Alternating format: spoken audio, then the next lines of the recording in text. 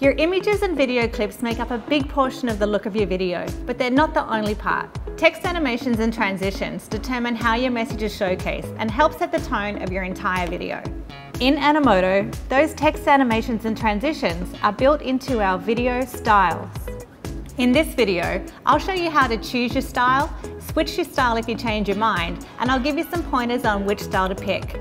Let's start by defining what a style is and what it is not. Video styles define the transitions and text effects in your video. In other words, your style will set how text appears in each block and how one block transitions to the next. A style is not a template. The structure and content of your video is entirely up to you. The simplest way to get familiar with our style choices is to start a video from scratch and check them out firsthand. Before you get into your project, Check out the short descriptions of each style and watch the sample videos to see them in action. Once you make your selection, you'll be dropped into a blank project. If you change your mind about the style you choose, you can always change your style in the toolbar on the left. The same is true if you start from a template.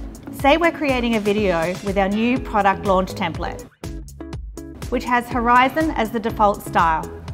You can toggle through different style options to see how the same video would look with different text animations and transitions.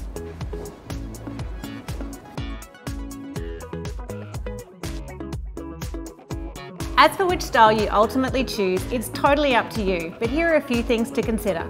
Does the style match your brand? For instance, Glamour's flare transitions might be perfect for a photographer, but might not be right for a professional services business.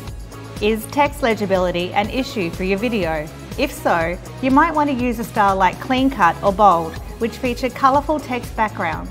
What kind of video are you creating? For example, if you're creating a social news video, Bulletin's, sliding text reveals will help make sure your video looks the part. As you make more videos, you'll start to get a feel for which styles suit your business and the kinds of videos that you create. But if you're just getting started, there's no better way to get comfortable than to have a play. If you have any questions about our video styles or about Animoto in general, let us know in the comments and hit the subscribe button for more guides like this one. Thanks for watching, I'll talk to you soon.